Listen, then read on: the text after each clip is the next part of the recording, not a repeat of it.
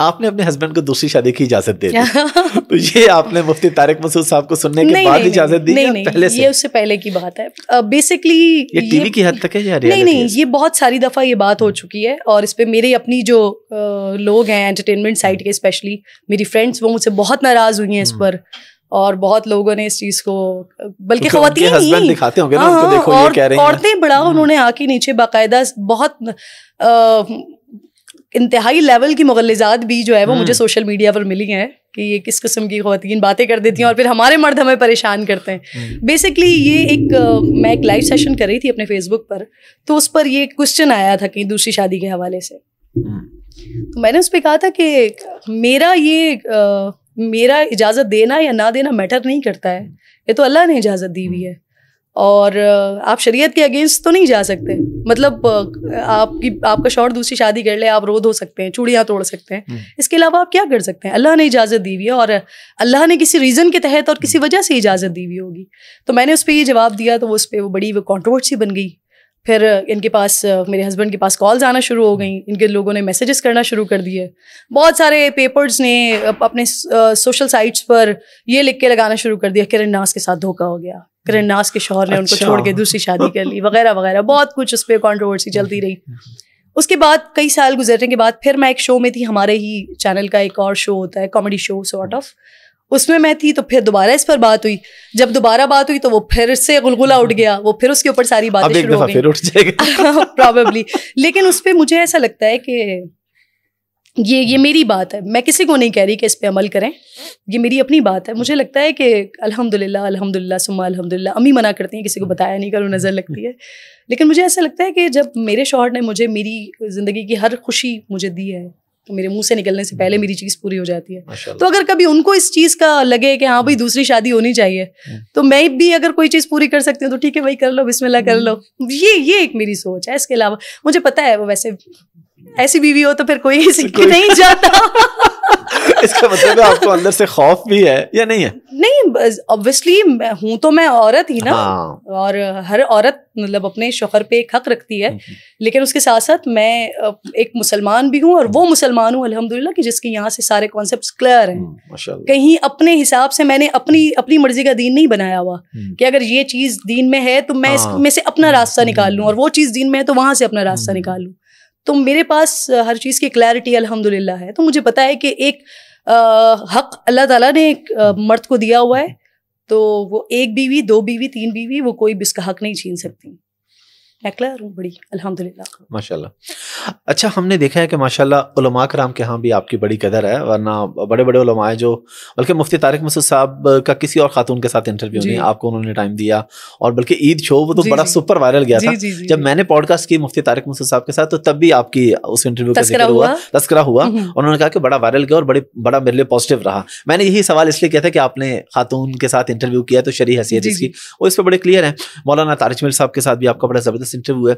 इसकी क्या रीजन है? हमारा ये ये ये ये जो मैंने दो बड़े नाम लिए ये इस तरह से ये तो मर्दों को टाइम नहीं देते और फिर हम्म। खातन के साथ तो ज़ाहिर है वो एक जो भी उसमें है बड़ा ये अल्लाह ने बड़ी इज़्ज़त की दी कोशिश है बड़ी अल्लाह ने इज़्ज़त दी हुई है। मैं मालिक का जितना शुक्र अदा करूँ उतना कम है। ये एक चीज़ मैंने शुरू की थी पता नहीं क्यों मेरे जहन में ये बात आती थी बल्कि पता नहीं क्यों नहीं बल्कि बिल्कुल सही बात थी जो आती थी। हम हमारे जो है ना वो रोल मॉडल्स हम वेस्ट को बना के रखते हैं। हम्म, चे गोएरा हमारा रोल मॉडल है। जी वो पता नहीं अ, मुझे भी अचानक से मेरे जहन से नाम निकल गया। हम कभी किसी को रोल मॉडल मॉडल बना रहे हैं कभी किसी को रोल मॉडल बना रहे हैं। बेसिकली तो हमारे रोल मॉडल्स जो हैं वो अकाल सलाम और उनके सहाबा कराम फिर उनके तबा ताबईन वो तमाम की एक लिस्ट है हमारे पास जो हमारे रोल मॉडल्स हैं। हम्म।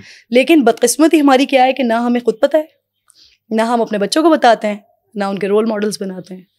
तो जब मैंने प्रोग्राम करना शुरू किया तो एक एक ये आगाज़ किया मैंने यहाँ से कि जिसका भी दिन होता था हज़रत अबू बकर सिद्दीक़ ताला अन्हु का दिन है बिल्कुल, मैंने आपके बहुत उनका यौम पैदाइश है या उनका यौम वफ़ात है तो उसके ऊपर उनकी ज़िंदगी हम्म। जो उनकी दौर खिलाफत उनका रहा हम्म। वो सारी चीज़ें क्योंकि ये सारी चीज़ें जो अब वेस्ट में फॉलो हो रही हैं वो हम्म। बेसिकली हमारी हमारी बिल्कुल, लेगेसी है ना जिसको हमें फॉलो करना है वो हमारे लोगों की हमारे हम्म। जो सहाबा कराम हैं जो हमारे अकल सलाम है उनकी लेगेसी है जिसको हम आगे फॉलो करें।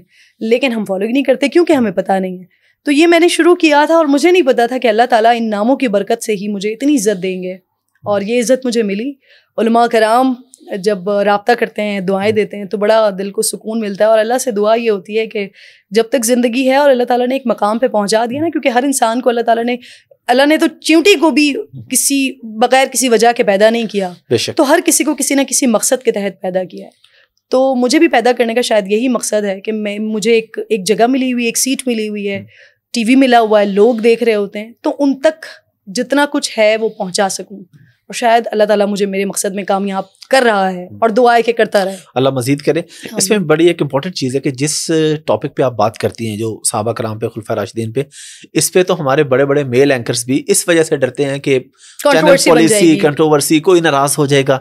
आप एक खातून हो के ये कभी परेशानी का सामना करना पड़ा? नहीं मे, मेरा फेथ बड़ा क्लियर है ना। हम्म। मुझे अल्लाह ताला ने मुझे समझ ही नहीं आता। मुझे बहुत बड़े बड़े मसाइल से हम्म। ज़िंदगी में बड़ी बड़ी चीज़ें आती हैं और मैं ऐसे चुटकी बजा के निकल जाती हूँ। हम्म। मुझे अंदाज़ा भी नहीं होता कैसे। और हर किसी की ज़िंदगी में आती हैं बहुत मुश्किल मराहल आते हैं काम के एतबार से भी आते हैं हम्म। आपके पर्सनल लाइफ के एतबार से भी आते हैं लेकिन जब आपका फेथ बड़ा क्लियर हो और जब आपका एतबार अल्लाह पे हो ना जब आप अल्लाह से लाड कर रहे हो मुझे नहीं पता भाई।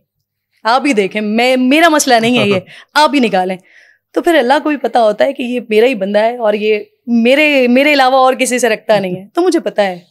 रिस्क के हवाले से भी इज़्ज़त के हवाले से भी हर लिहाज से मुझे अल्लाह पे बड़ा भरोसा होता है। तो मैं बड़ी आराम से निकल जाती हूँ। तो अल्हम्दुलिल्लाह इस तरह की बड़ी चीज़ें आई हैं। एक दफ़ा मैं जब बोल में थी तब भी इस तरह का एक मामला हुआ था। कंट्रोवर्सी बनी थी। उस पर भी मैं बड़े आराम से निकल गई थी। अल्लाह ने हम्म। बड़ी इज़्ज़त दे के निकाला था। इसके अलावा भी मैंने बहुत से साहबा कराम का तस्करा किया हम्म, है हम्म। टीवी पर। बड़ी बड़े फ़ख्र के साथ और इनशाला आगे भी करती रहूँगी। उस पर भी लोगों ने बड़ी कॉन्ट्रोवर्सी बनाने की कोशिश की। मुझे फ़र्क नहीं पड़ता। मुझे पता है कि मैं मैं हक के रास्ते पर किसके लिए कर रही हूँ? बस वो राज़ी होना जी, चाहिए। जी, जी, जी, लोग तो जी अल्हम्दुलिल्लाह नाराज़ होते रहते हैं।